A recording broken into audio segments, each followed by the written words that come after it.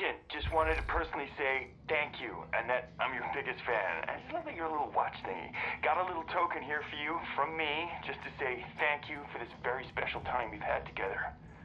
I'll never forget you, Agent.